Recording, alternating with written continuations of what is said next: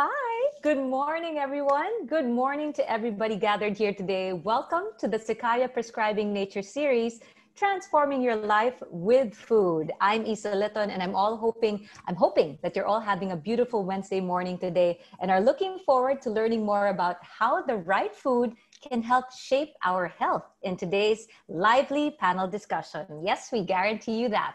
But first, I'm sure you're all aware that in the past few years, there's been this growing interest in being healthier as people become more aware about the effects of highly processed foods and sugary products, the effects these have in our bodies. So, this led many of us to go back to basics, back to nature in terms of what we eat.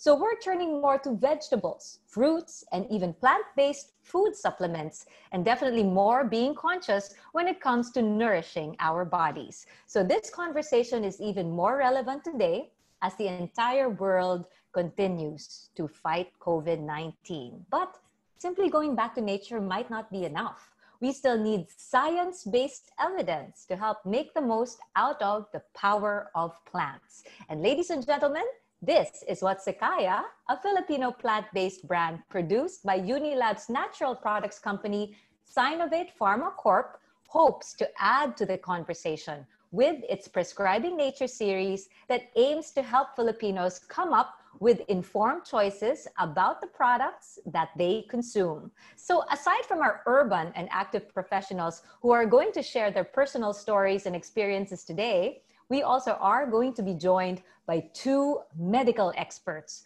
who will help us understand how smart food choices impact our overall health. And as early as now, I would like to encourage all of you, our dear attendees, please send in your questions, any that you may have during the course of the discussion. Send them via via the Q&A box. It's right there at the bottom of your screens. And please address your question to a specific speaker and we will get to them later. Okay? So, making this event, our morning gathering, even more special, Sekaya will also be introducing to us its new line of curated plant based superfoods. Sounds very, very exciting. And I personally am looking forward to finding out more. So, why don't we take this chance to learn more about Sekaya and its newest product line, Sekaya Raw Actives. To tell us more about it, please welcome Sekaya Marketing Head, Ms. Bernice Gonzalez. Good morning, Bernice.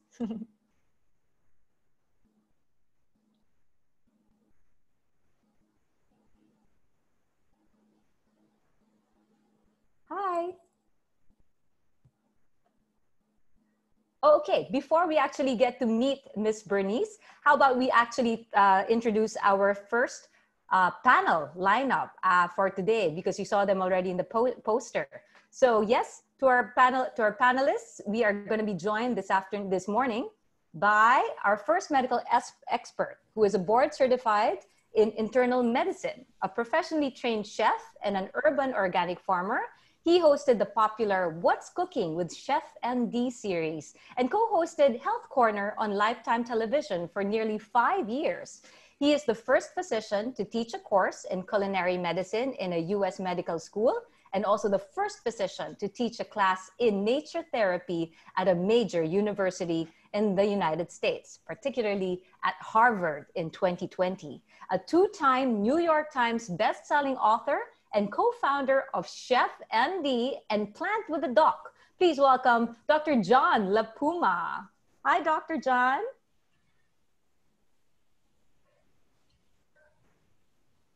let's say hello. In fact, he's actually tuning in to our gathering this morning from his very own organic avocado uh, farm, if I'm not mistaken. So yes, hi John. Do do. Hi Seth. How are you? I'm good. Uh, we'll be joining you in a bit. We'll see you in a bit during the panel discussion, and looking forward to hearing what you have to share.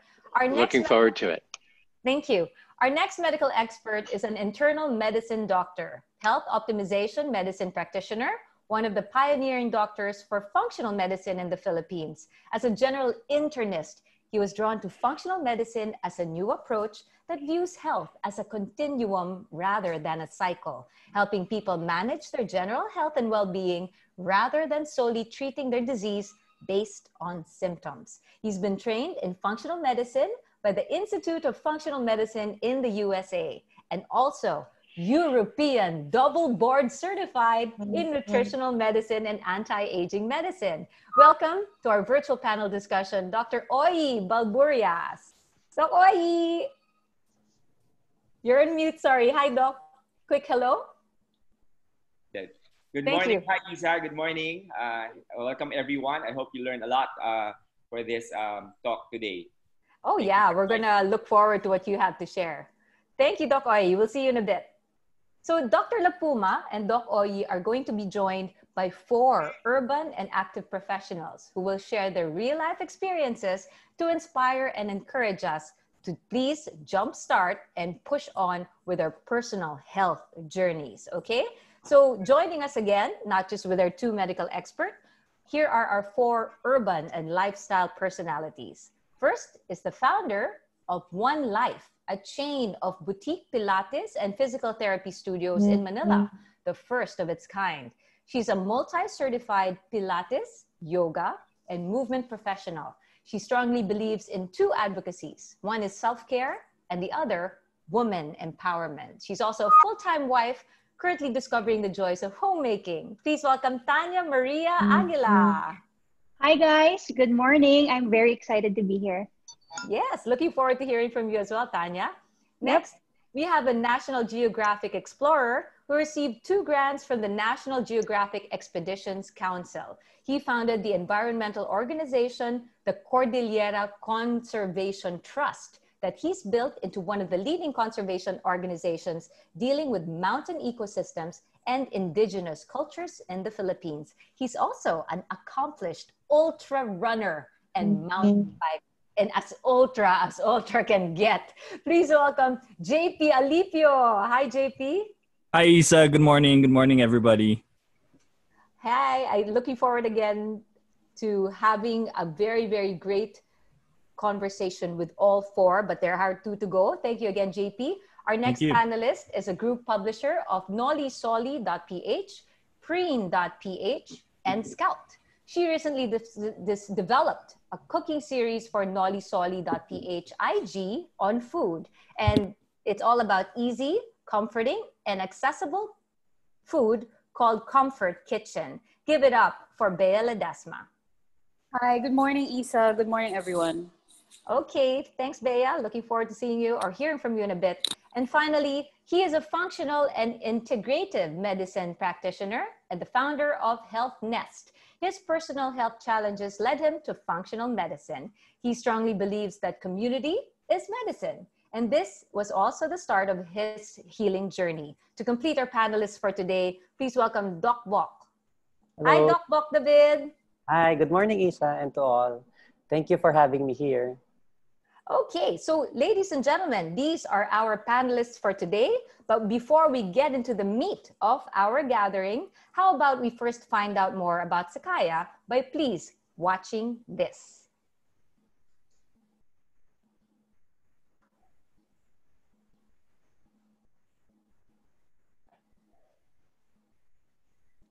Hyperurbanization is here. More than half of the population now live in cities. It has broken our link to nature that is integral to us, putting our bodies in a state of deficiency. Experts call it nature deficit disorder, a growing health concern among people living in the city. In response, people tend to consume any natural product to make up for this deficiency, unaware that it might even be harmful to them. Sekaya. The brand that restores your link to nature. Sekaya harnesses the healing benefits of nature validated by the exacting standards of science.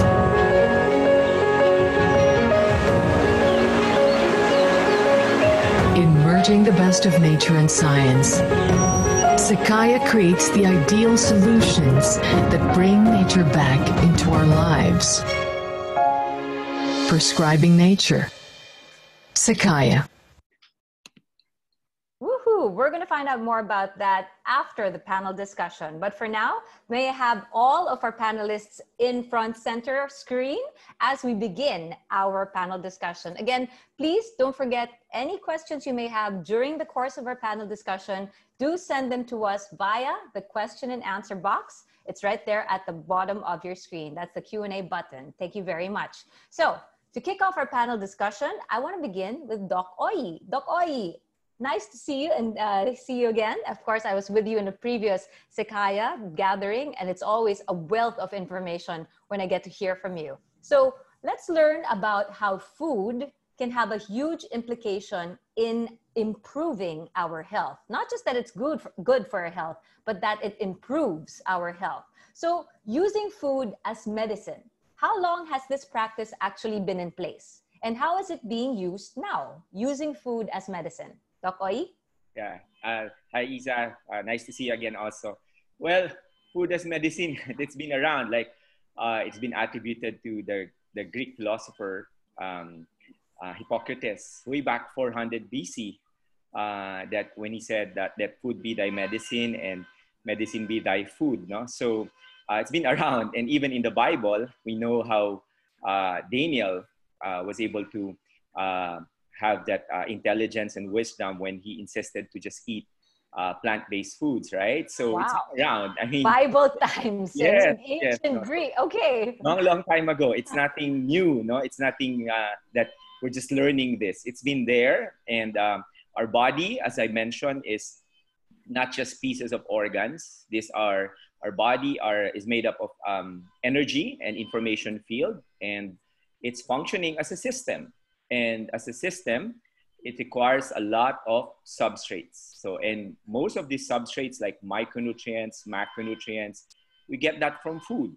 You know? So, uh, of course, we're talking here about uh, whole, real, and unprocessed foods. You know? So, foods that are really nutrient dense, foods that contain vitamins, minerals, uh, phytonutrients. So, that's what we're talking here. We're not talking here about foods that are really laden with uh, additives, preservatives, or damaged foods. No? So uh, it's been around. I mean, our body, as I mentioned, is a system. It requires all of these substrates in order to nourish us, no? in order for, for it to function. So it's been around. But sadly, our modern nutrition um, is not able to provide all these substrates. That's why we are getting sicker and sicker. So Ooh. I'm glad to know that everyone now is learning about the power of food. Food, Isa, is medicine. Food is energy. Food is information to our genes. And definitely food is how we also communicate to one another. None, I love how you, that's basically how we're jumping things off. I love how you put that straight out there. Food is medicine, energy.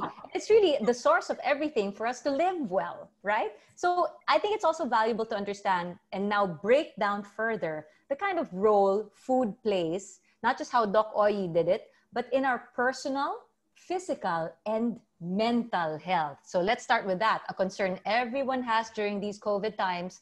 How do different nutrients and bioactives in food support the body's functions in terms of, let's start up here, mental health? Doc Oyie. Uh, well, our, bo- our brain, uh, just like any other part of our body, requires several substrates. It requires energy, it requires um, circulation or blood flow, it requires nutrients, it requires growth factors like hormones, no? or it requires uh, a micronutrient like the sun, no? like vitamin D. So those are the ones that how our brain function. Of course, our brain functions because of the balance of uh, neurotransmitters. So it functions with its so many functions like uh, mental, emotional, cognitive, memory. All of those substrates are needed for our brain to function. So for you to have the total health, uh, the, to- um, the total health, uh, physical, mental, emotional, psychological part of it, and even the spiritual part of our health, we need the total um, the totality of health no? and we get all of those substrates either we get it from nature or we get it from uh, whole foods that contains all of those nutrients and substrates that our body as a system needs so if you want the the totality of health and wellness no so you need to nourish it no? so as i mentioned our body is functioning as one interconnected, interrelated, and integrated systems. So, and more, more than that, the way our body functions uh, is ingrained into, uh, into nature. So we have what we call chronobiology or circadian uh, medicine. So it's hardwired to how uh, it's connected to, to nature, to light. So we cannot change that. So the problem is the way we live right now uh, is not aligned with how our body was designed. So that's why we're getting, as I mentioned, we're getting sicker and sicker mentally, emotionally, and definitely physically. So we not only have an, um, a pandemic of infectious diseases like this, we've been having an epidemic of chronic diseases, of chronic lifestyle related diseases, because everyone is nutrient deficient. Wow. Okay. So that's already overall, but I'm going to Yeah. touch more on the emotional maybe later on. But thank you for that, Doc Oyie. Let's head over to our other doctor, Dr. La Puma. So from Doc Oyie strengthening and reinforcing the importance of food for overall holistic and health development and importance, how about you telling us now about culinary medicine? Some might think it's merely expensive. When you think culinary, you know, it's like very, very high end. But it's not just about having expensive meals. In fact, how did it come about, this idea of culinary medicine? And what factors does it consider in terms of an individual's personal health and wellness? Go ahead, Dr. La Puma. Um, actually, you said I could write a book about that and, and did. Um, but the simple, the simple answer is that culinary medicine blends the art of cooking with the science of medicine to create restaurant quality meals that help to prevent and treat disease. And it's not expensive um, uh, because in culinary medicine, you learn to cook in quantity and you learn to have uh, preserve what you cook, either by freezing it or by making it into other meals. Um, uh, culinary medicine, uh, the first course in culinary medicine was taught in the United States Hi, David. uh, in 2003 David. and um, at the State University of New York in Syracuse at their medical school with Michael Roizen, who heads the Cleveland Clinic Wellness Institute. And he Mhm. and I taught it together. Um, and now it's taught in about 50% of American medical schools. So it, it blends different parts of medicine, nutrition and uh, biochemistry and internal medicine and the other kinds of subspecialties into a way to cook healthy and cook simply um, without saying any one diet is the best diet, without Nice. saying you Okay. have to not eat meat or you have to eat only plants or you have to. It has an omnivorous outlook. It thinks of meat as precious, like a Mhm. flavoring or seasoning, but it also embraces all styles of cooking and all traditions of cooking because each tradition of cooking has a wisdom in it that That's so actually true. often has been buried. Yes, that's so true. Everything has a- a story, something to anchor to, right? Here in the Philippines, right. we call that like our lola, our grandmother's secrets, or like Yes. traditional. Yes, and often the very healthiest cuisines are in fact your grandmother's cuisine Yeah. if she knew how to cook, and I assume she did. So, so and actually the Philippines are fascinating that way because a lot of nutrition is kind of Eurocentric. It, it promotes the Mediterranean diet and the the Pegan diet and the ketogenic diet, and eh, but actually Asian countries have this marvelous tradition that's now older of preparing vegetables and fruits and beans and, uh, and nuts and fish for that matter in simple ways that are highly flavorful that we've kind of lost sight of because there are so many highly processed foods that are so quick and convenient and cheap. So our task in culinary medicine is to help people rediscover the way to cook as a way to change their health and the way to eat if they don't want to cook themselves, but they want someone else they live with to cook or a neighbor to cook, to to change their to make themselves well with what they uh-huh. eat. Okay, Dr. La Puma, before I let you go, I wonder what led you to the practice of using food and nature as medicine then? What, what's your the backstory behind you going this path? I've always been interested, Isa, in trying to bring fields outside of traditional medicine, allopathic medicine in the United States, um, and to some extent osteopathic medicine, but I'm an allopath trained in internal medicine. Mm-hmm. Bring fields that don't traditionally look like biochemistry, anatomy, physiology, infectious disease, cardiology into medicine because I have found that those fields, well outside of medicine, ethics in my case, um, culinary arts in my case, and agriculture and horticulture as mm-hmm. well, have things to really contribute to how people get well, yes. how they feel better and live a healthier, bigger, a more embracing life. And those fields all have something to say in medicine and I think need to be at the table, need to be written on prescription slips. And, and I've always been fascinated with things that are outside the science and the challenge of trying to bring them in. And I've had great colleagues helping me to do that along the way. Not just bring them in, but bring them on your table. So I love how Dr. Oyie's holistic uh, approach to food and your approach to medicine and food are very, very much aligned. We're going to get back to both of you in a bit. Thank you, Dr. La Puma. Let's talk to our uh, lifestyle personalities here. I want to begin with Tanya. Tanya, congratulations, our very business, um, very, very uh, successful businesswoman. You worked oh, in the corporate you. world for years before you opened up One Life. So, yes, pushed you to actually put up a health and wellness center and transition to that from corporate world i mean was it that stressful well i was in the corporate world for 10 years uh, it was really like a corporate setting i handled one of the biggest coffee brands in the world so you can mm-hmm. imagine the stress yeah. and um, my personality is i get obsessive and so i was really obsessed with my career to the extent that i forgot about my health and so after a few years, maybe on my seventh year, I started feeling like I was aging faster than I should. I was Ooh. gaining a lot of weight. My mm-hmm. hair was falling. My skin mm-hmm. was bad. And one one day I looked in the mirror and I said, I have to make changes. And wow. so I started um, exercising.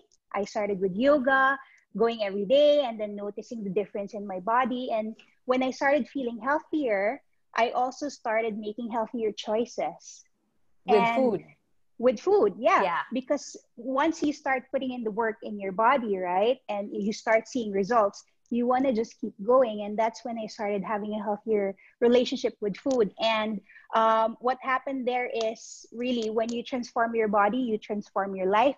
And in mm-hmm. my case, I wanted to share the same benefits that I found um, when I exercised, when I ate better, into a business and that's yeah. when one life came about i love it so i like yeah. how your journey started from exercise and then to food intake because yeah. other people will do food first and then exercise yeah. later but i don't I like how... diet at all mm. so so that's why i started with exercise first and and it's really true I, i'm sure you know this too when when you take care of yourself when you yes. do self-care yes. that goes also into food Definitely. I agree with you 100% on that. Thank you very much. Let's have head over to Doc Bok. I understand, Doc Bok, and thank you for being transparent with us. You actually had personal health challenges, and this is what led you to go more plant based when it comes to your food intake. Can you share with us uh, what were some of the reasons that made you push into a more plant based diet? Doc Bok? Uh, 10 years ago, after I graduated from my medical uh, degree, uh, I had lots of issues. Like I had obesity, diabetes, hypertension, skin disorders like acne, and atopic dermatitis. And I usually have that um, anxiety attacks during um, when I have sleepless nights. So when I started to face a lot of patients in my own private practice, um, I, I, saw myself like, I, I think I'm the patient. I'm not the doctor. Uh-huh. So, oh, okay. So I, I, I started to, again, like Tanya, uh, do a lot of exercise first. Okay. However, okay. Uh, the amazing story of exercise is really like I lost a lot of weight. You Lost a lot of weight? Or like around 50. However, when I checked my blood lipids, yes, I lost a lot of weight, like 50 pounds. And then, however, I did not start with uh, proper um, food intake then. Okay? It's just like burning a lot of calories while taking a lot of calories also. So it's like in, in and out, but it doesn't really reflect into uh, blood tests. Okay, I still have the highlighted um, the lipids and then my sugar is still up. So that's when I really decided to explore more on food. So uh, that part is really hard for me because again like tanya said we love food. We you know we just love to it, it makes us happy. It's a social thing also. So that really um, was very very difficult okay? A lot of science behind it um, a lot of like confusing data in the internet. So i don't really know where to start but you found the answers actually at the Institute of Functional Medicine, right? This Yes. is how you got involved Actually- in functional medicine. Yeah. Yes, uh, I kept looking into like you know uh, proper education uh, where I can you know look into the science of food as medicine. Um, So I uh, I found the Institute for Functional Medicine where I met Dr. Oyie and some other functional medicine experts here in the Philippines. So um, from there, um, I tried to use their protocols, their you know um, backup studies, and a lot of like toolkits. We're going to get to that in a bit, but we're going to ha- let it hang there. So, again, it was quite a journey for Doc Bok, who said, Yes, I don't want to be hip- a hypocrite, basically. Now, I'm the one supposed to, who are supposed to heal patients, but I myself am a patient who needed the help to find out. And echoing Tanya's uh, lifestyle and feedback, exercise is not enough. It's definitely about what you take into your body as well. Thank you for that. How about JP? JP, I just Hi. have to say this. In 2019, just last year, you were the first Filipino to finish the Dragon's Back race. Ladies and gentlemen, that is a 315 kilometer, 15,500 meter elevation gain and loss foot race across the Welsh mountains. It's considered as one of the toughest mountain races in the world. And JP was the first Filipino to finish it. So I think it's fair to say you're probably the most active person in this panel. so considering then someone like you who had to train for something like that, what made you start incorporating plant-based food in your meals? Because what was your diet like before and how did it change when you became this hardcore athlete? Well, normally for a lot of athletes, no, the diet tends to be very meat heavy because you think Yeah, that protein. protein is protein tends to help and, and all of that. But uh, about three years ago, I actually injured myself. I had a really bad injury, and it would take so much time to heal. Basically, the I, I I twisted my ankle, and and it would it took months to to properly heal and to get myself back on track for my training.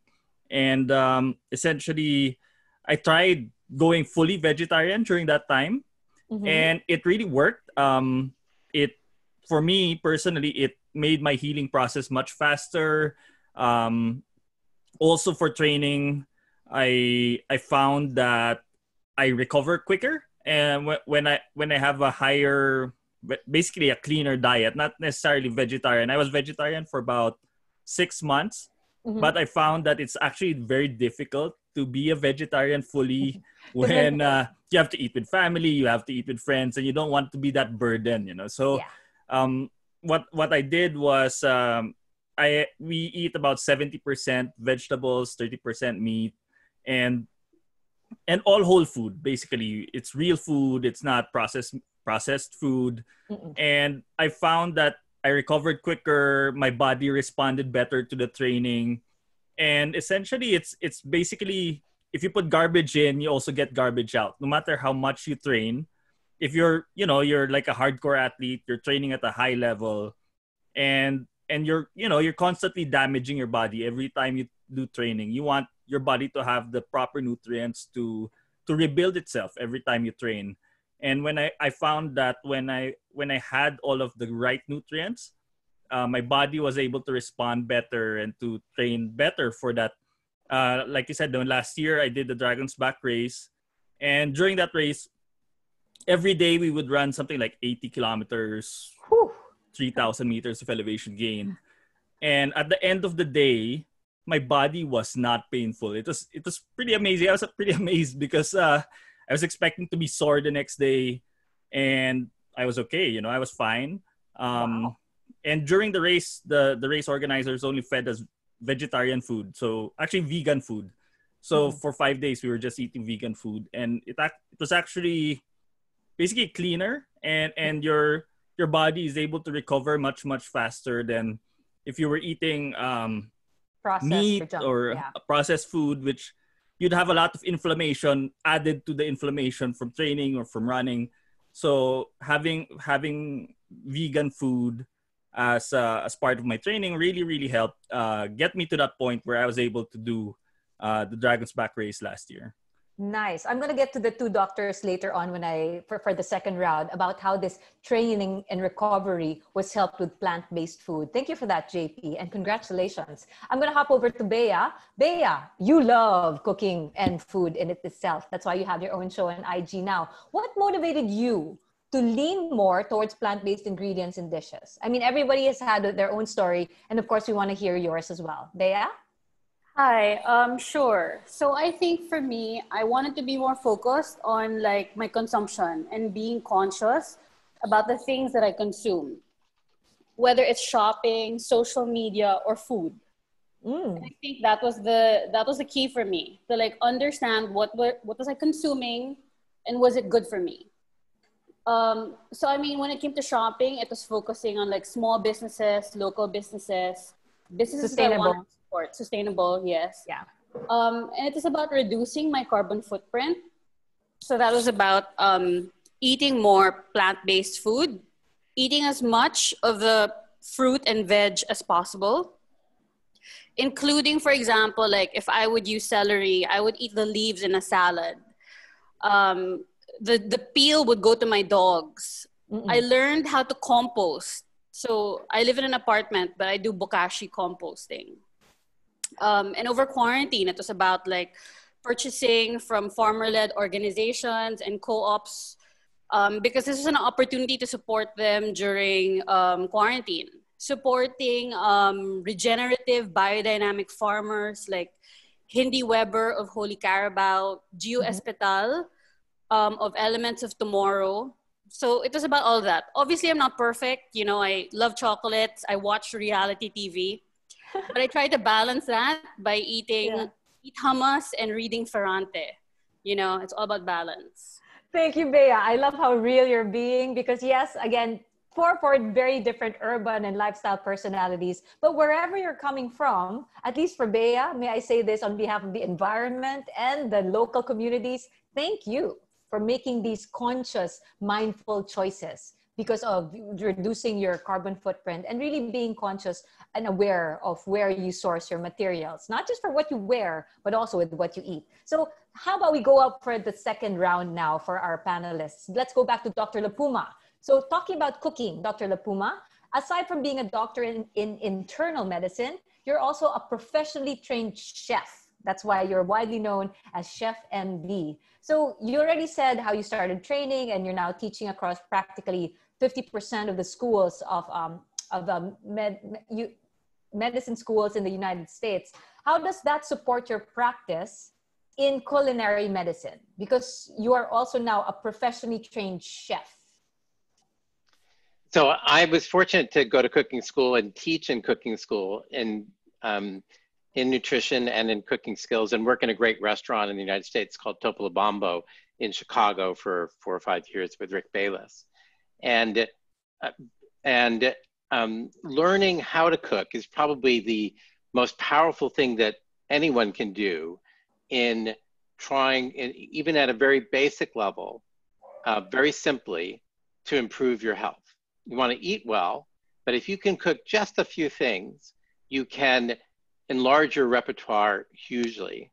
And we find that training uh, health conscious clinicians, um, and almost all of them are in cooking, is really powerful because people love doing things that are tactile. Um, you, people love knowing how to use a knife, how to look like, how to look fire in the face, how to um, use pans and pots that are serious, um, and and also how to cook for one, uh, if that's who you're cooking for. So I think cooking is a basic skill that again our ancestors had um, that we've kind of shuttled to the side, but there are some tips and tricks and hacks that are really easy to do that make your life so much easier if you want to cook just a little. And that's the best way to not rely on super processed food and ultra processed food and to get more what we've been talking about whole foods into your life, foods that are not highly processed and look like what they looked like when they came out of the ground or came out of the ocean or came off the tree. Okay, Dr. La Puma, I'm going to take you up on that offer right now. Could you please name at least maybe uh, five herbs and spices that you can Sure. include in your recipes so that it can benefit your health? Because what do these put in the food so that it'll benefit our health? And maybe even how you cook them? Sure. Well, the magic is some of them you don't have to cook at all. Um, Okay. A lot of fresh herbs and spices are just perfect out of the ground or from a, a leaf or from a tree. I love um, what we just heard about eating the leaves on celery. In our in our kitchen gardens, eh, actually, we use the whole plant. We use the whole cilantro plant, for example. We use the whole bok choy plant. Um, we Uh, we have a lot of it- that. Bok choy. yes, I know. That's why I said so. Because when you when bok choy flowers, and you know this, uh, it's a cruciferous vegetable. Um, that means when it blooms, it has a four-pointed cross. And there are many other cruciferous vegetables like um, uh, arugula and, and broccoli and wasabi and watercress. Um, and cruciferous vegetables help you detoxify poisons in the liver. And um, bok choy, which you cook, gets some of that enzyme deactivated when you cook it. So all you have to do is add a tiny bit raw back to the dish, and the enzyme then reactivates, and you can detoxify poisons in your liver again, just by that simple trick. Now So you asked about choy, herbs yeah? and spices. Yeah, Okay. no, I love bok choy. I have great Okay. recipes for it with um, shrimp, with um, soy sauce. It's really wonderful. Now, now, a lot of things that I don't uh, that are used in Filipino cuisine, garlic and chili and calamansi, and we actually have a calamansi tree here in California, um, just so my Filipino friends can come around and pick it. Um, and and because it's not grown here much, as you know, um, I consider those really core ingredients rather than garnishes or accents or uh, or uh, an herb or spice tweak. Um, but but some people continue, consider them um, uh, herbs and spices. I, I Just don't. I think uh, decorative. Decorative, right. yeah. An, an herb is a leaf on a plant, and a spice is everything else in the plant: the seed, the root, the stem, um, the flower. So um, that's the culinary definition. I like rosemary leaves, um, which is not grown very much, I think, in the Philippines, but it, it, with time, it uh, has great studies to show that it actually inhibits the production of cancer-causing chemicals when you grill meat. Ooh. If you just So that's why it's a perfect meat, rub. So it's good to marinate. and exactly, yes, you could do it as a dry rub. Um, Mhm. Oregano, the same thing actually, and it's strongly antibacterial. All kinds of oregano. There's oregano for every country in the world. I think I have about. We grow Syrian and Mexican and Greek oregano, and I'm sure there are many more. Yeah, sorry, Um, Dr. La Puma, do you prefer dried or fresh for these Um, rubs? I I think you should use what you have. Okay. Um, I'm a really practical cook, but um, the if you use fresh, you usually need about a um, three times more. The ratio is three to one fresh to dried, um, and uh, I think fresh gives you a burst of flavor.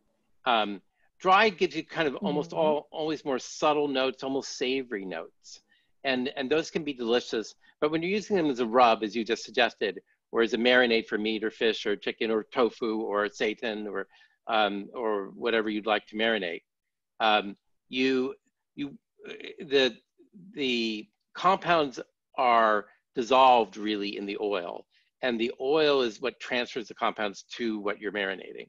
Um, so I like rosemary for that. I like oregano for that and its antibacterial functions. I like um, ginger for that and it's uh, anti ginger nausea. Yes, and it's a, and of course it grows beautifully there, as does turmeric, um, which uh, I also Mhm. love. And there's actually great data for turmeric preventing the progression of prediabetes to diabetes in patients who have elevated blood sugars but don't have full-blown diabetes yet. Um, it's just like it's three to five grams a day. Um, and turmeric, as you know, is better absorbed with a little bit of black pepper or the, the chemical piperine, which is what makes black pepper spicy. It also allows the curcumin in turmeric to be absorbed. oh, Um, that's a good tip. So let's add some pepper in our salabat. Salabat is like our Yes. ginger tea. Okay. or in a, With or in a, okay. it- with turmeric. The, Ah, with turmeric, the pepper tur- pepper helps the the ginger. You can crystallize, you can crush and make a tea of. You can uh, mince it and just throw it in with the bok choy and the garlic. Um, uh, it needs a little bit of heat to have the flavor comes up. I think. Uh, and then my final spice um, for medicinal purposes and culinary ones is cinnamon, um, Cinnamon. because it is it's just so round and spicy and it makes everything sweet without adding sugar and i i just uh, and it's also been shown to lower blood sugar slightly in some people with the gene for it. Um, so these five spices i think uh, are the ones that occur to me. Um, plus like five more that i don't really consider spices. If you again thinking of herbs as a leaf and a spice as everything else in the plant Nice. Thank you very, very much for that, Dr. La Puma. Now, going to Dr. Oyie, I hope everybody took notes, especially Bea. Bea loves to cook. I'm sure Bea is already going to say, I'm going to try that with my dishes. So, I Doc so. Oyie, JP mentioned about how he went plant-based, practically vegetarian. How, what is the relationship between the recovery process and plant food? Doc Oyie, could you tell us more about that? Doc Oyie? Well, we're all hungry now after Yeah. Dr. La Puma. I know. I, I want to like, No. Uh, well, most plants, come on over uh, just like what Dr. La Puma mentioned, have anti-inflammatory effect. Of course, when with JP's uh, rigorous training and uh, events that he went through, uh, our body uh, undergoes damage. No? So, of course, the body is also capable of repair. So, one of the mechanism how our body uh, addresses this is through inflammation. But most plant-based have are immune modulators or have anti-inflammatory effects. So that's why his body recovers faster, and then that uh, there's a modulated response of the immune system, not resulting further to more damage. Uh, hence, at times that's why athletes get injured if they lack all of these phytonutrients and phytochemicals, and as well as uh, as mentioned, balanced nutrition is important because even plants have proteins and proteins is one of the essential macronutrients that we need in order to repair our body. So as mentioned food is medicine. So everything Holistic- that our body as a system needs all of these substrates micronutrients macronutrients uh, phytonutrients as well as uh, different enzymes or even neurotransmitters these are all uh, formed through uh, the, the, the metabolic substrates that we get from a whole real unprocessed foods Okay, so we talked about types of food already. Anti-inflammation, how it helps not just our minds, our feelings. Here's one thing though I wanna, before I let you go, Doc Oyie. Everyone thinks when it comes to food, especially, and when you say food equated to weight, yun, diba? Equated to weight. When it comes to that, is it all about numbers? Is it all about counting calories? That's the common mistake. I mean, the, the law of thermodynamics cannot be uh, applied to our body because our body is an adaptive biologic system. Whatever you do to it, it will create a protective response. No? So if you deprive yourself of food, uh, you'll probably be losing weight, uh, but that will just be temporary because sooner or later that body, that biologic system will adapt. you. So it's not really just about uh, counting calories, it's really about the composition of the food the balance of the different macronutrients. As I mentioned, all of these macronutrients, fats, proteins, carbohydrates, are all equally important and vital to how our body will function optimally. So that's why we don't mention the word diet, no? because when you say diet, that means to say you're eliminating Eliminate. Yeah, eliminate. So, but our body as a system um, is hardwired to utilize all of these fats um, in order to uh, make our cell wall, no? Proteins for repair and as well as for the macronutrients for the energy for i mean carbohydrates for the energy so everything is equally important Thank you for that great reminder, Doc Oyie. Now let's get back to our four lifestyle panelists. Tanya, have you tried to become a vegetarian? I mean, have you tried it? Because we've been talking about going uh, plant-based a lot. And how was that experience for you? Um, so yeah, I did go vegetarian a few years back for a whole year. I was a strict vegetarian. Um, it was because I was a purist. Um, I ate eggs, so it's a certain kind of um, lacto-ovo, I, I think. Uh, anyway, I was vegetarian strictly for a year. It was because I watched this docu called What the Health on Netflix and immediately cold turkey, I said, no more meat. And at the time, I was also training for a marathon. And just uh-huh. like JP, it was really, really great for my body. It felt good. But at the same time, it, it became unsustainable for me because I was with my family, my husband, everyone else around me was eating everything. They weren't vegetarians and and to them it seemed like I was depriving myself. And and to me it seemed like I was depriving myself of those joyous moments with family where we can share meals, where we can share moments and and more than me being uncomfortable uh, with that situation where I was just eating vegetables and they were eating everything, it was more them. They were feeling uncomfortable and always minding me. And I felt like they felt like I was missing out and it made them uncomfortable. And seeing them, you know, always bothered where to eat because Tanya can't eat there or, oh, yeah. nako, what will Tanya eat? Kawawa naman siya. And I didn't like that feeling. I was mm. depriving them also of those moments with me. And yeah. so what I realized was what worked better for me was still having those joyous moments with family. Um, I just try to influence them to always paint our plates, always have a serving of vegetable there, change our rice to adlai, yeah. you know, small sustainable choices that we can all do together. And so we can still have those joyous moments together. So no deprivation of, of food, also no deprim or choices yeah yeah correct i love that story and again how we, even though that even though it is our personal health journeys let's not mm-hmm. forget mm-hmm. we have families we correct. have partners we we live in units diba so it's and filipinos love to eat i mean yes.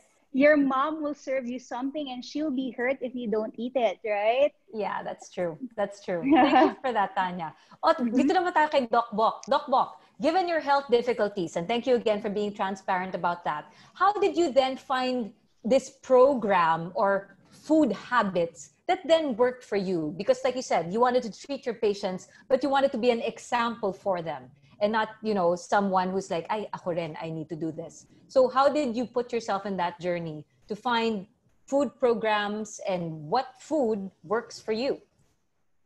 Well, it's really hard to start. Actually, when I started eating uh, you know, Whole Foods, I started with an apple. Okay.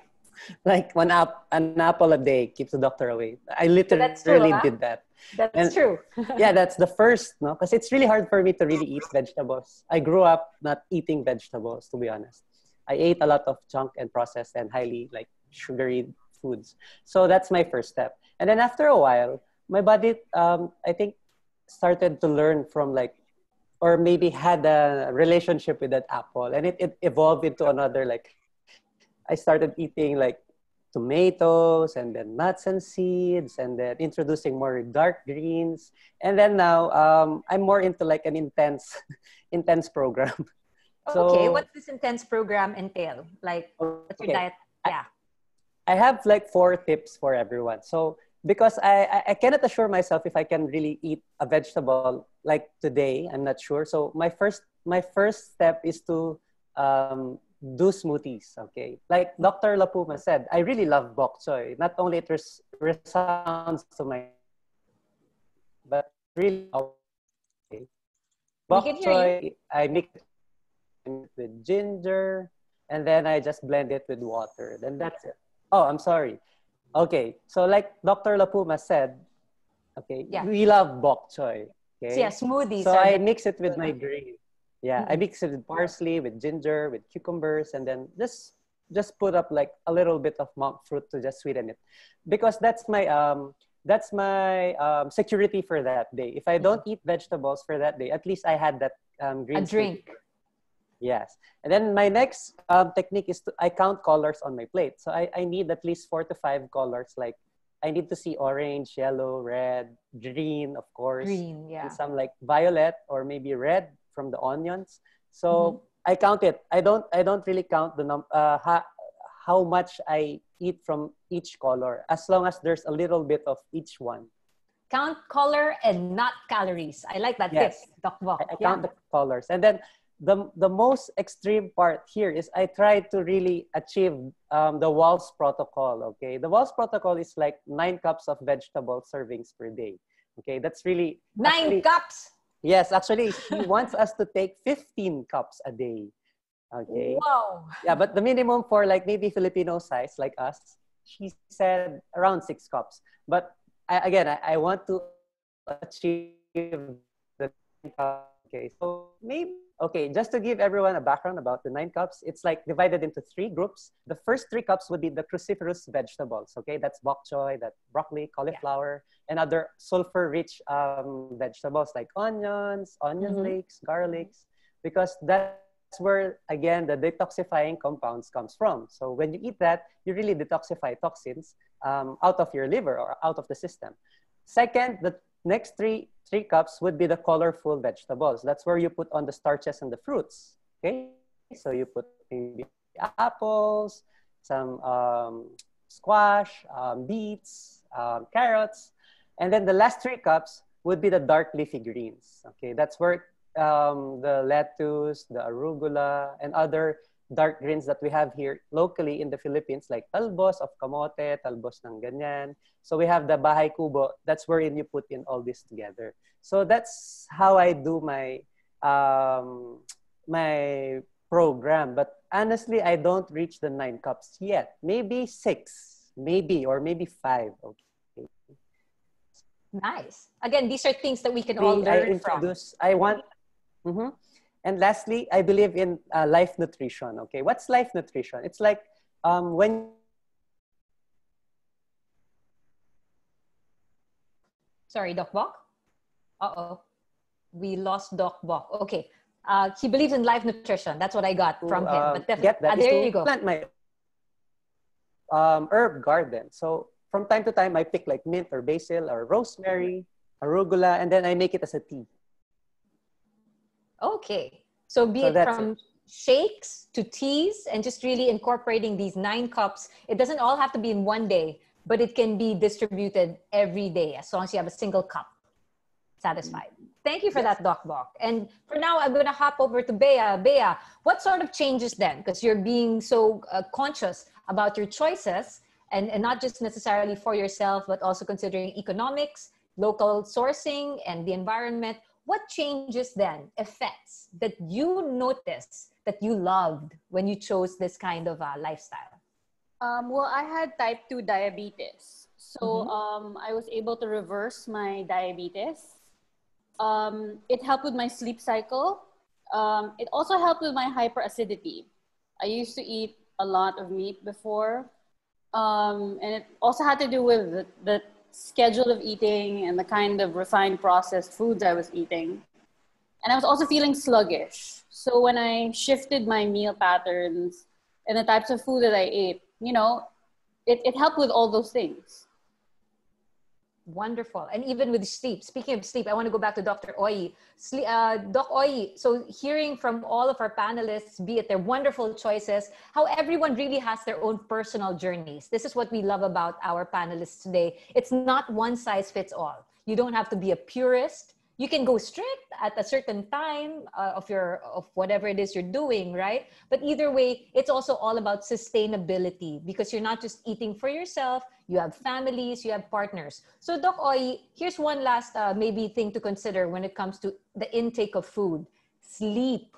Especially now, again during these times, sleep deprivation is something everyone can relate to. So, late night eating, and even again, it comes to how we choose our food how does this affect nutrient requirements and over, overall health? Doc Oyie, when it comes to sleep? I mentioned already a while ago about chronobiology. You know? So as Mhm. mentioned, the way uh, the biological design of our body is hardwired to to our environment. you know. So we have what we call um, a master clock in our brain. We call it the suprachiasmatic nucleus, which is in the hippocampus. So this is the Mhm. one that tells our body that it is daytime and it's nighttime. You know? So and this is connected to how we uh, how we are able to process our food. That's why we tell people not to eat late at night because you know this biological clock is connected to what we call uh, different organs of our body have what we call peripheral clocks. You know? So like our stomach, it stops functioning, uh, stops digesting after nine o'clock. Okay, so, Really? uh, yeah, that's why there's a certain time that we should be asleep. No, so we're we're supposed to be asleep by 11 p.m. and um, be awake by six a, by by 6 a.m. because you know by two o'clock in the morning, our bodies, uh, all the systems of our body are in a regenerative mode, right? So except for the liver and the skin. So but so if you're not, if you're sleeping late and you're eating late, no, so, so some of the food that you are consuming will not be metabolized. Hence, Mm-mm. that's why you you sleep a little late, you gain a little weight. No, so that's how the body, uh, as I mentioned, is designed. So we're really supposed to be asleep at night and uh, awake at daytime. We have what you call a chrono nutrition. No, so but if you're altering this because of the kind of lifestyle that you have, like we have a lot of call center uh, agents, Yes. that they're awake at night and um, they're um, asleep at daytime. Aside from you not being able to um, uh, to be able to produce several substrates that your different systems needs, like for example, the different cells uh, that is needed by your immune system to fight off um, invaders or or uh, microorganism. That's why you see when you're sleep deprived for several days, if you sleep, let's say three hours, four hours consecutive, several days, then what happens after afterwards? Your immune system weakens, right? So because you're not able to produce the different immune cells that is uh, and the immune system it's responsible for defending and repairing us so Mm. uh, it's not just about um, exercise it's not just about nutrition it's also Sleep. important for us to consider the value of sleep you know so these Yes. three are what we call the, the three positive determinants of health if you don't compromise these three lifestyle factors you are guaranteed to remain healthy so you cannot eat your way out into being healthy lang. No, you cannot Yeah. exercise your way out into being healthy. Everything is equally important.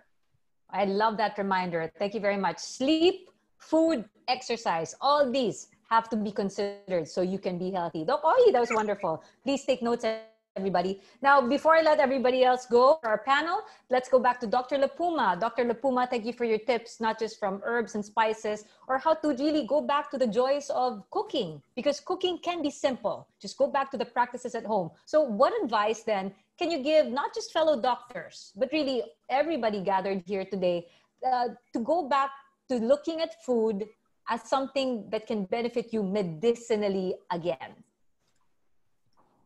Dr. La Puma? I think Sorry, one way is is still here, Dr. La Puma. I think one way is is to try to um, not consider food that you can't eat, but instead food that you can let's eat. give that another try. I- yeah. no.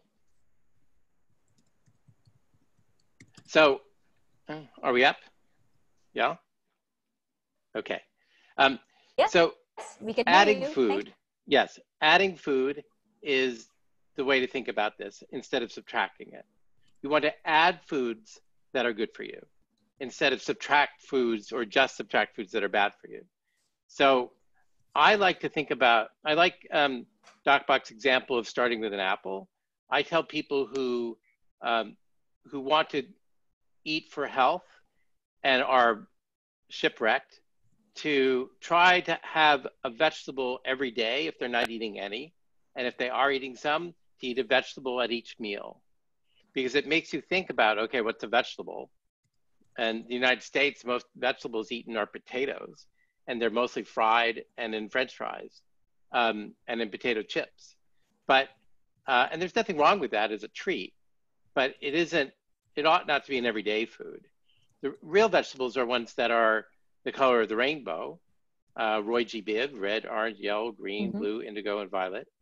And Um, so I like people to try to have a vegetable at every meal. Um, I like them to use more herbs and spices like we talked about. That's Yep. a way to get anti-inflammatories, antioxidants, gram for gram, herbs and spices, particularly dried ones, are richer in anti-inflammatories than almost any other food because we don't use a ton of them. And they're so powerfully and powerfully flavored. And lastly, if people are looking for one dish that will they can fit in, um, it's for me it's a soup.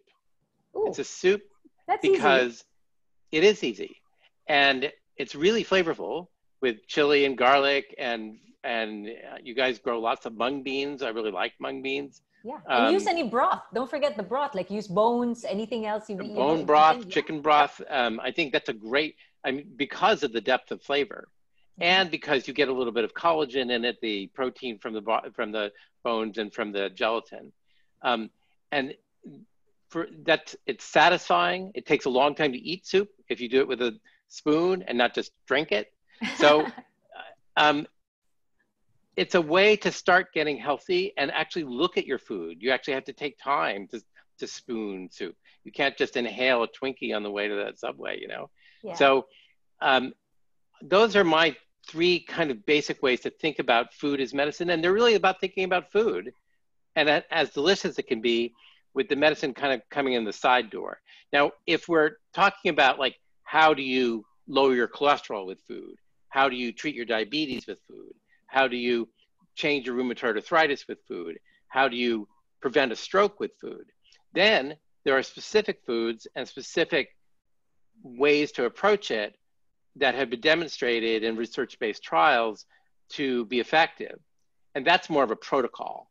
But here, I think a general approach to being healthy, and most of us fortunately are in that category, is to use these three tips. Have a vegetable at every meal, um, eat more soups, and uh, use more herbs and spices. Thank you very, very much. Again, that was our two medical experts. Thank you to Dr. La Puma and Dr. Oyie Balburias. We're going to hear more from our lifestyle panelists in a bit because we will be opening opening up Q&A. But for now, we do want to introduce someone very, very special to also share something very exciting with all of you. So to everybody, to our panelists, hang on tight because now we are going to be joined by the Sekaya marketing head. Everybody, please welcome Miss Bernice Gonzalez. Hi, Miss Bernice. Thanks, Isa. I hope everyone enjoyed the talk today. Um, I, I hope that you were able to take note of a lot of tips that you can apply on your wellness journey.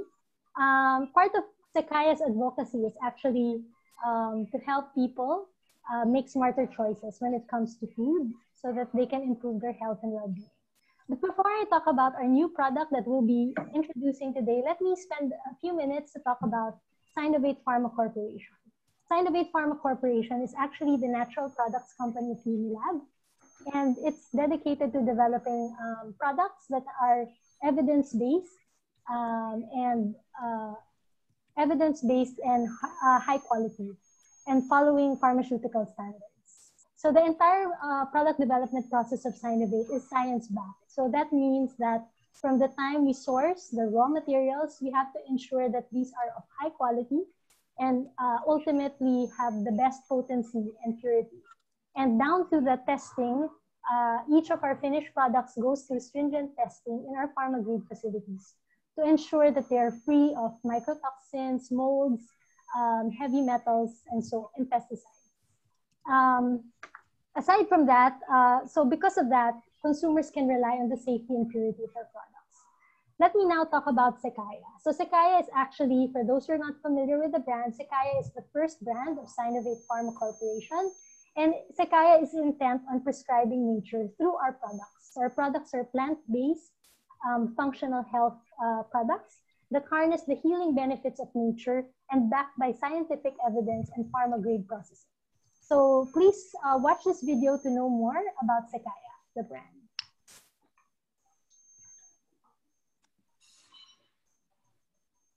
Hyperurbanization is here. More than half of the population now live in cities. It has broken our link to nature that is integral to us. putting our bodies in a state of deficiency. Experts call it nature deficit disorder, a growing health concern among people living in the city. In response, people tend to consume any natural product to make up for this deficiency, unaware that it might even be harmful to them. Sekaya, the brand that restores your link to nature. Sekaya harnesses the healing benefits of nature, validated by the exacting standards of science.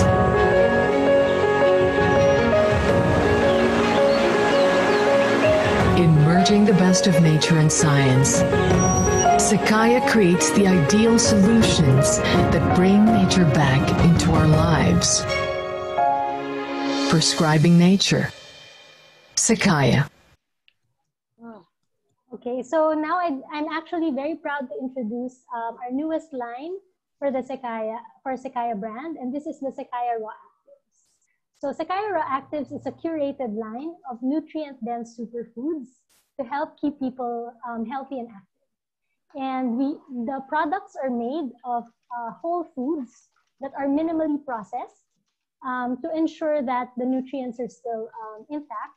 And at the same time, these whole foods are um, uh, USDA certified organic, non-GMO, and non-irradiated.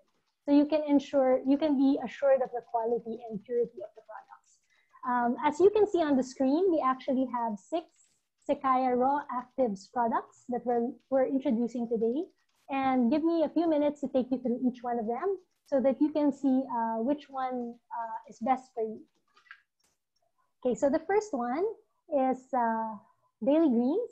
So Daily Greens, as you can see, contains organic spinach and kale, and it provides the micronutrients needed for energy metabolism and vascular health. So what I like about Daily Greens is that at a time like this, when um, it's not as easy to get access to fresh produce, it's good to have this on hand because it's powder form and you can easily incorporate it in your, in your beverages or even your meals. Okay, the next one is barley green. Okay, barley green is actually made of barley grass, which is a good source, a very high source of chlorophyll. And what we have is organic barley green. So the chlorophyll also can help here to support uh, the body's detoxification process.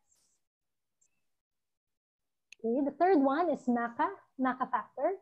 So maca factor is great because it's an adaptogen. It comes, it contains maca root, which is an adaptogen, and that helps your body to adapt better to stress and also for you to have more energy. Okay. We also have the power beet. So this is great actually for those who are more athletic. So it boosts, it helps boost the nitric oxide production in your body so that you can have more energy. So for people like JP, this, this type of product is, is perfect. Yeah. And then we also have our protein powders. So we have two protein powders. We have the vegan protein. So vegan protein contains organic uh, pea protein, uh, quinoa, and brown rice. And it contains, every serving is equivalent to 18 grams of protein to help you achieve optimum levels of protein and nutrients. And it also has uh, potassium, calcium, and iron. And finally, our last uh, but not the least is pea protein. So pea protein has a higher um, protein content because each serving is equivalent to 23 grams of protein. Um, and it's also very rich in L-arginine and lysine. Um, so it helps you achieve your optimum levels of protein for the day. Okay, so as you can see, our products are really, um, as I mentioned, they're minim minimally processed whole food um, in powder format. And as such, they're very convenient and easy to incorporate in your meals, um, whether they be, uh, you know, um, uh, your favorite breakfast meal like oatmeal or pancakes, or you, you can even just mix it with water um, to consume it or even mix it with your juices. So there are really a lot of um, things you can do, and it's something that people can get creative with regards to using these products. So, and in line with um, Sekaya's advocacy, as I mentioned, of um, helping people make smarter choices when it comes to their, their nutrition, um, we're happy that we're able to share these products with you today and also this informative session that we hope will um, inspire you on your wellness journey. Definitely. Thank you very, very much. By the way, where can we find these products, Miss Burns, Miss Bernice? Okay, because so again, congratulations on the launch, Sekaya Raw Actives. Where can we get it? Okay, so Sekaya Raw Actives is actually available in a lot of places. So in retail, you can get it from the real food stores. So there are real food stores in Alabang and also in BGC. Um, online, we're actually in Shopee, um, Lazada, and Zalora. So just look for the Essential Store in those platforms. Or you can also check out the Sinovate flagship store in Lazada. Aside from that, um, you can also just direct message us um, through our Facebook or IG. So just go to at Sekaya PH on Facebook or IG and just send us a message there, and we'll be happy to um, to get in touch with you regarding the products. Um, and finally, um, for those who want to just SMS or Viber, you can also do that um, through uh, 0917 5 Sekaya. So you can message us there. That's an easy number 09175 Five Sekaya.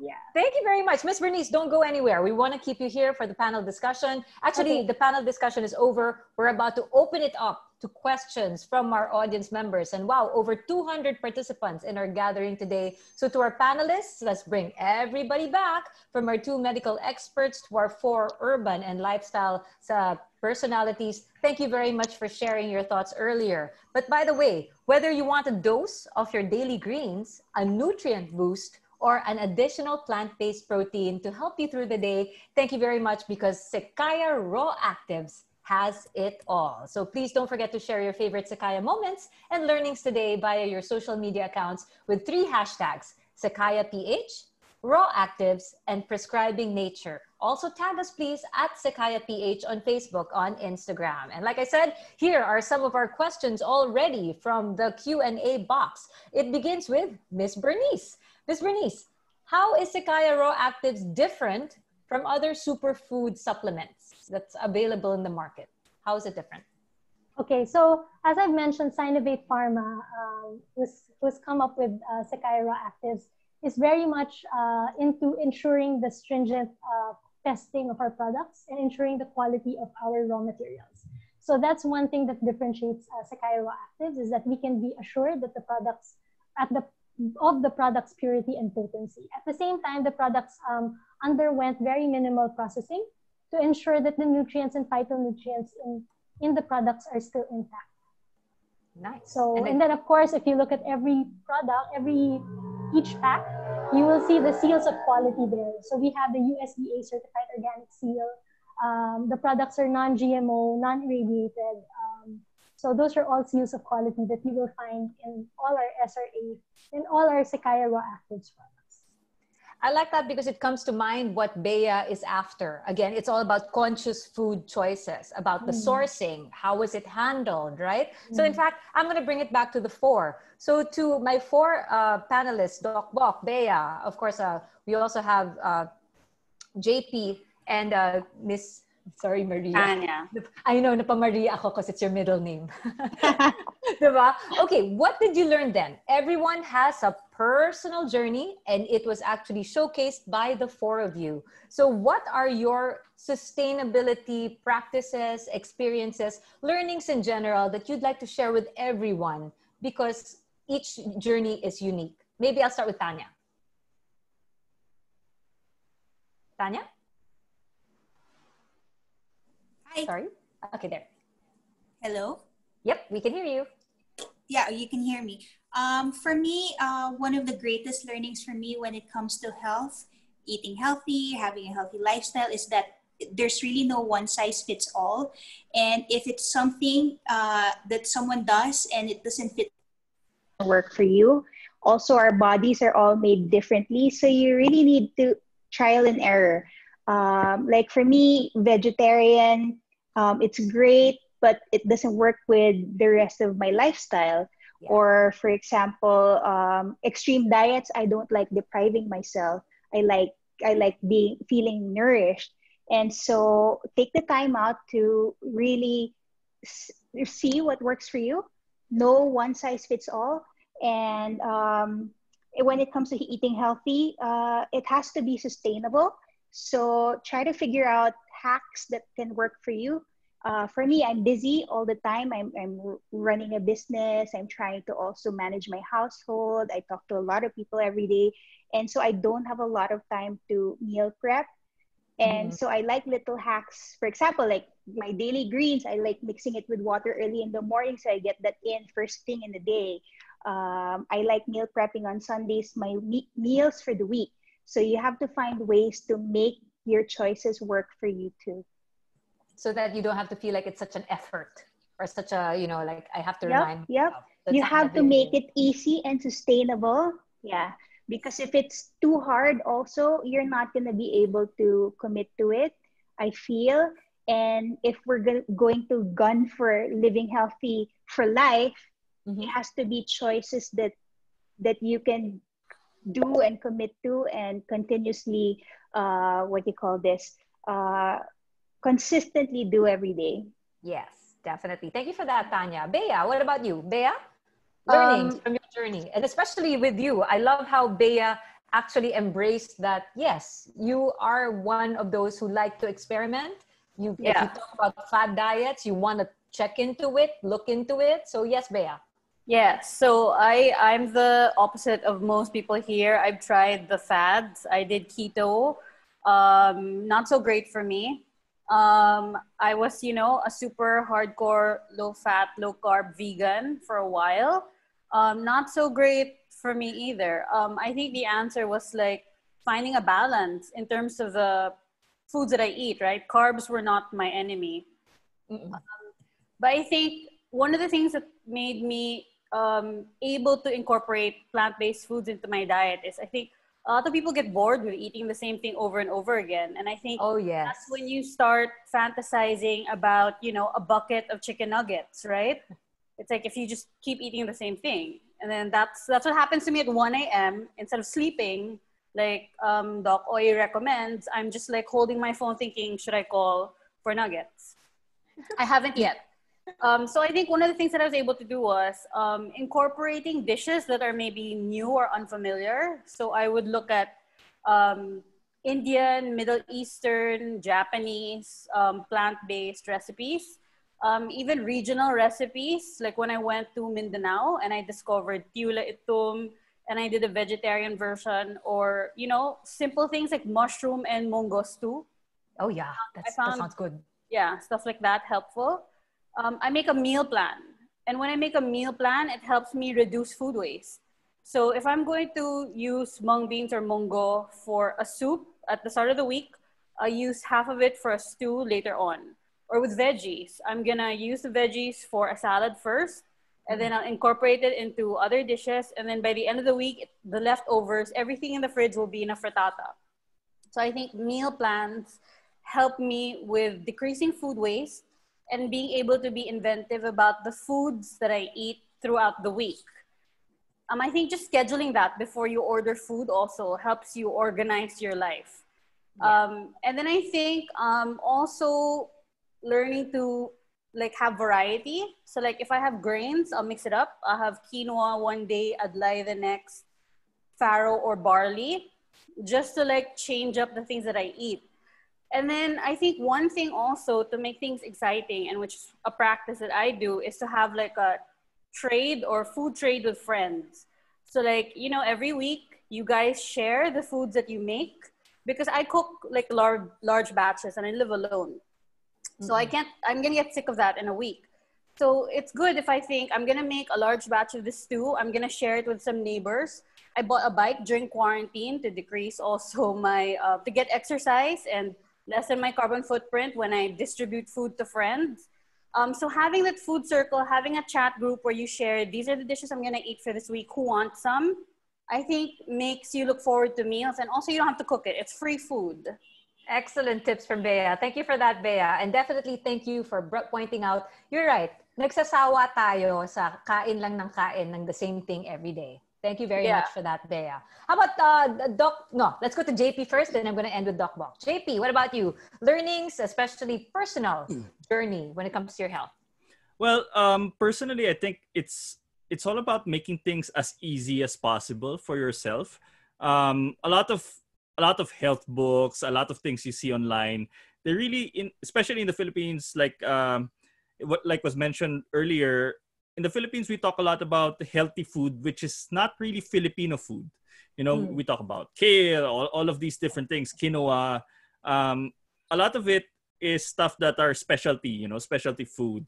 And what's what for me what I've found um is you know you just go to your local palengke punta kayo sa palengke and and you see what's actually available there. And that's what you use you know? a lot of it is actually very healthy uh, a lot of it is also very cheap no? A lot of people have this misconception of going vegetarian or going healthy is an expensive thing. And i think maybe for some restaurants it is because they're, they're really expensive restaurants that are healthy restaurants but um, locally. If it's yeah local. i mean what you see locally in your local local market is a lot of really healthy food. I live in trinidad in in in benguet which is basically the vegetable bowl of of this region. And good for you. I, i'm lucky you know it's easy to go Yeah. out and, and get vegetables. But for a lot of filipinos uh, there's this concept misconception no? if you go to a carinderia konti lang yung gulay eh. it's mostly meat. Like you know yung yung turo-turo puro carne and then there's like a little vegetable corner uh, there no? But but generally um, we can eat healthy without it being expensive. And and also another thing is um, don't be too hard on yourself you know like have that burger once in a while go to the mcdonald's para okay lang yun you know uh, as long as most of most of what you eat is healthy the once a week mcdonald's binge eating you know forgive yourself for that. I've i've you know when i'm training sometimes you really crave the burger or you really crave the that big meal.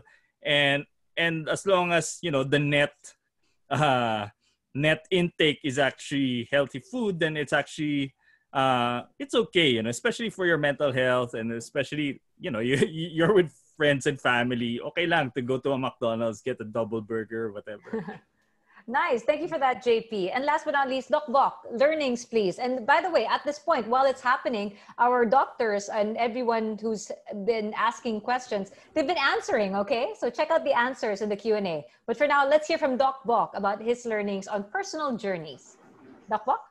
my, my, my, my tip is to just start somewhere. I mean, we don't need to be, uh, you know, aggressive on this. I, I know how how hard it is for everyone to just change their diet like overnight. It, it didn't happen to me like like that. Maybe it went through like years. Okay, so actually, it's like an it's you need to just grow from where you are. Like okay, so like me, I started from an apple and then you know added added some more vegetables. Actually, I I I thought like eating more fruits would be healthy, but I was wrong. Okay, so and then I ate a lot of fruits and then shifted to more like um, leafy greens. Okay, Mm-mm. so uh, like what JP said, we are always intimidated, but by what we see on like um, on social media or or on the television, we always see like um, the non-Filipino food um, like vegetables. So we always think that yeah, it's going to be very difficult. Of course, well, we don't have that here. I mean, we, we don't have most of them here, but we always forget the bahay kubo.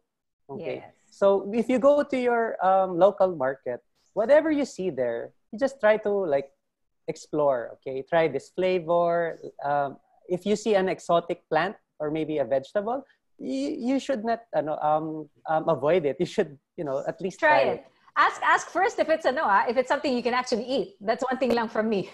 Yeah, Because you said exotic ano, baka baka mamaya it's just growing at the side of the road and you're gonna go for it. Make sure you also no, no, no, no.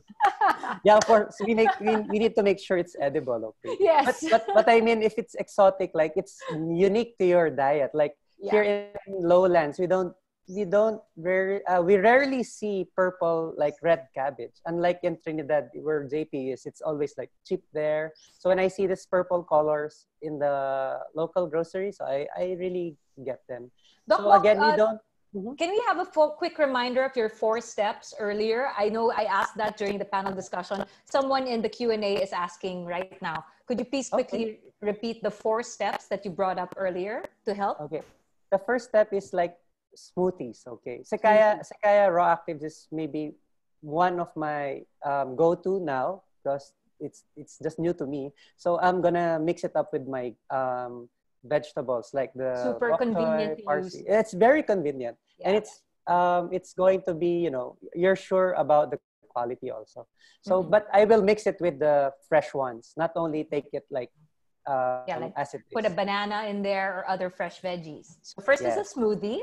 The second, Yeah. Second one is like the colors. We, we need to count colors. No, we don't need to consume a lot of like of each one of the colors. At least we need to see minimum like maybe a teaspoon or a tablespoon on your plate on the first time. Okay. So you want to see uh, the Roy G. Biv like yeah the rainbow color. colors. Um, then the next, the third one would be the more aggressive one, the nine cups of vegetables. Okay, that's like extreme. But if everyone can, a cup I assure you, I mean, most of maybe ninety percent would be really healthy.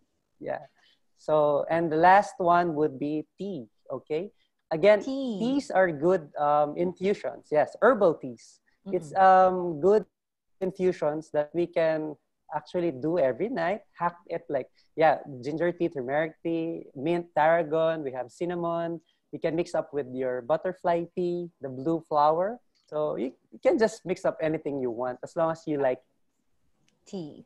So thank you for those quick four tips, Doc Bok. Thank you for repeating, be it from smoothie all the way to a tea, your nine cups, and definitely count your colors instead of adjectives. eh, sorry, count your colors instead of your calories. I'm going to go now to Dr. La Puma, who don't forget, Dr. La Puma actually said soup.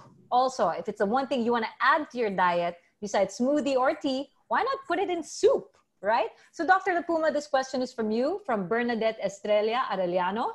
Moringa, something the Philippines is very rich in, is processed into powder for convenience and more nutrients to benefit from because there's less moisture content. So, what is a happy balance between best culinary recipe of food for nutrition to increase appetite and the dried and more nutrition packed herbs in food? So, what would be a nice recipe to balance the dried out ones and the food nutrition, best culinary recipes? Dr. John, sorry, you're on mute. Yeah, thank you, sir. Doctor. Thank you, Issa.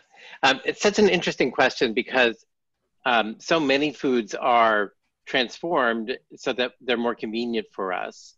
And we all know that they're actually best in their whole form. But what if you can't get them in their whole form? Can the dried form substitute? Yeah. Um, and in the case of moringa, um, there's a lot of, uh, it's been, as you know, it has a traditional use as the medical term is a galactagogue. It helps um, women produce breast milk reportedly. And it, I know it's used that way, as are many other plants. Um, and um, it's supposed to protect the liver and protect against cancer. And, uh, but I'm not, I haven't actually seen any data about that. It is Ooh. kind of, it's high in amino acids and high in, um, in some micronutrients, vitamins, and minerals. Um, and it tastes pretty good. So I'm for it. Um, I think it can be used dried. I think you want to know why you're using it. Whenever you start something like this, um, like a dried powder, you want to know, okay, um, am I doing it just for fun? Am I doing it for flavor? Do I expect to benefit from it? And if I do expect to benefit from it, how long do I have to get the benefit? Um, I always tell my patients if they're having a symptom that they want to improve with food, that to give themselves uh, about a month and to grade that symptom from a from zero to ten. Zero, no symptoms at all. Ten, worst possible. What what is your if if the symptom is a GI symptom, if you have an upset stomach and your stomach growls at night and it causes insomnia and you're hungry all the time. Okay, those are four symptoms. And so you grade them from zero to 10 and you write them down and then you put the paper away in a drawer and you come back in a month having had um, undertaken probiotics or prebiotics or a, a dried powder to help with that symptom. And then you give yourself another, you go through the four symptoms again and you give yourself a score. These are called, this is called a therapeutic trial in medicine when we do it for medication. And it's the same for food. So what you're trying to do is figure out whether it actually helped you in some way. And that's, I think, the most important part about beginning any new regimen. You want to know if it's achieving what you want it to achieve. Thank you for that. Again, again insightful. I like how that goes also back to what Doc Oyie was saying. Guys, think. It's about mental, emotional, not just for the sake of nourishing your bodies. It is about to nourish you as a whole person. Thank you for that. I have another question here from Marion Manigbas. Marion Manigbas.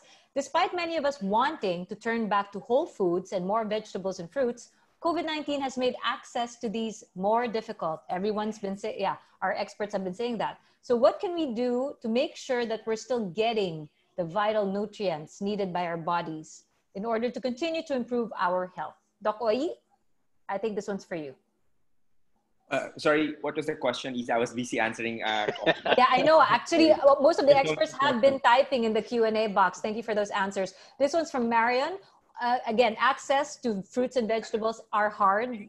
It's very hard now because of COVID. So, what can we do to make sure we're still getting the vital nutrients if it's not readily accessible? Well, um, there are vegetables that you can actually stock, like the, the hard ones that can last for, for weeks. And or at the same time, if you have limited access, then you might as well prepare uh, foods that will provide you a very nutrient dense uh, foods like what uh, Dr. Doc Bok uh, was mentioning a while ago, like uh, consuming smoothies, you know, or best really is you start planting. Like uh, if you have a little piece of garden there, like there's many herbs and botanicals are easy to, to grow and you can easily pick them and add them to your soup just or some of the um, uh, so this this herbs and botanicals, you can add them as a garnish. You can add, you can eat them as well as raw, as mentioned by Dr. La Puma. So if you have uh, and you're able to start planting, that's that's the best way really. Or just make sure that vegetables there are vegetables that can be stored only uh, for three days to five days. That there are vegetables that can be stocked uh, longer. And nowadays there's a lot of online um, access to um, to harvest supplies. No, so that's how you can really uh, gain access to different um, vegetables because also our um, suppliers are having difficulty transporting their vegetables. But if you want really free access, then start mm-hmm. your, start your own herb garden, start your own uh, vegetable garden. Um, that's the first thing I did when this pandemic uh, started. started. So uh, it, it's easy. I mean, we are a tropical country. We have a lot of soil around us. We just really have to um, uh, to move and to uh, really um, use um, what was given to us. You know? So just like what Dr. La Puma said, let's not be limited by, by what we cannot eat, but what we can start with. You know? So we are all stuck in our, uh, in our, in our house. You know? So self-care, if you really want to be healthy, you need to start cooking. Know? So mm-hmm. self-care is the art of all healthcare. Know? Um, yes. according to my mentor in uh, mind body medicine, know? it begins with you. Do not outsource your health um, to the food industry. No? So it begins, uh, in Tagalog, I call it KKK, no? Kusina ang kalinga ng kalusugan. So it begins Ooh. in your kitchen. So your health does not begin in the doctor's clinic. That's where your diseases are treated. But your health begins at your home. Thank you for that, Doc Oyie. And in fact, wait, to, Mar- to Marion's question, I think Bernice has something to say about this. Bernice, just in case everyone's having a hard time accessing their fruits and veggies. Yeah, so actually that's a common problem for everyone nowadays, because especially for those who are so used to having their regular um, supply of vegetables. Uh, uh, it's good. I think that's also where Sekaya Raw Actives comes in because it's able to at least um, provide you with an uh, more accessible um, whole um, powdered whole food um, options that you yeah. can use. I mean, ideally, of course, you use the whole foods uh, but in case uh, you have just a few, you can always augment by uh, boosting your nutrition day to day with the Raw Active. So you can, I've already heard of very um, creative ways of how people have incorporated, for example, our protein powders in their breakfast. Um, and then um, as for me, my own personal um, pref- uh, favorite of the line is actually the daily greens because I'm, I'm someone who really needs to boost her green and greens intake every day um, so aside from having uh, the salads or the smoothies, I sometimes add it in um, as well. And I've tried adding it to soups as well. So that's something uh, that you can also look at. So there's a lot of ways to be creative. I think, as mentioned, you know, um, by our speakers, you have to make it sustainable. You have to make it enjoyable, so that it's something that you can do for the long term, and make it something that's uh, you empower yourself to be able to make uh, these decisions for yourself every day. And last but not least, Ms. Bernice, where again can we get Sekaya Raw Actives, please? Okay, so Sekaya Raw Actives is available in all real food um, retail uh, accounts in BGC as well as in um, Alabang. Or you can always just message us through our IG or Facebook, Sekaya at Sekaya PH. Or you can also Viber or text us uh, 0917 Sekaya. And finally, we're also available in Zalora, Shopee, and Lazada at, under the Essential Store. Or you can look for the um, Sinovate flagship store in Lazada. So there's actually a lot of ways that you can um, get in touch with us.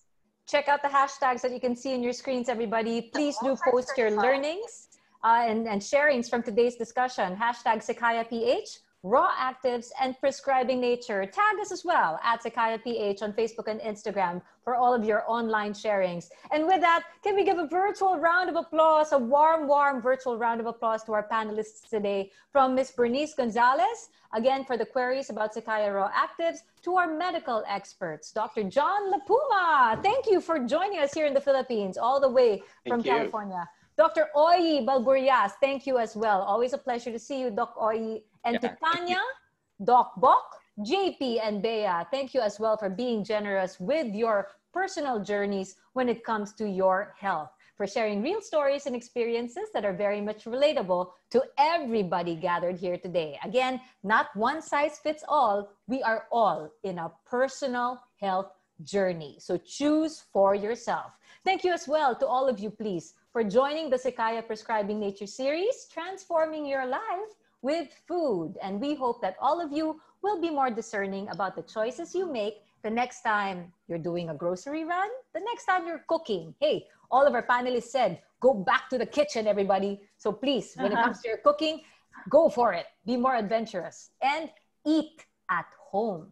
And I know I will be doing exactly that too. Don't forget to share your favorite Sekaya moments. You heard the hashtags Sekaya PH, Raw Actives, and Prescribing Nature. Tag again Sekaya PH on Facebook and Instagram. Remember, Sekaya Raw Actives is conveniently available online. Learn more about Sekaya Raw Actives by checking out at Sekaya PH on Facebook and Instagram. They also have their website, www.sekaya.com.ph.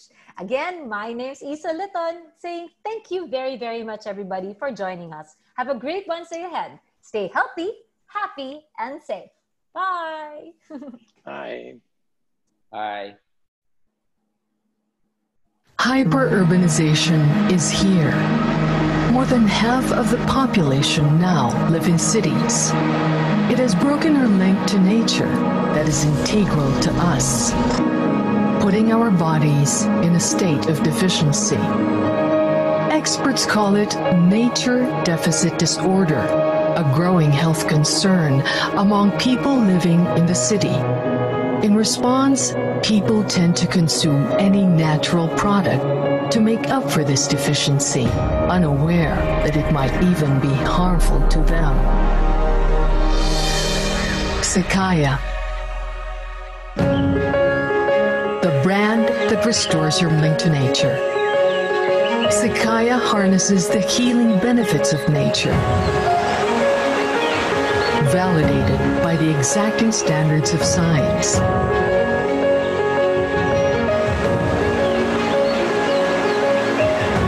Merging the best of nature and science, Sekaya creates the ideal solutions that bring nature back into our lives. Prescribing nature. Sekaya.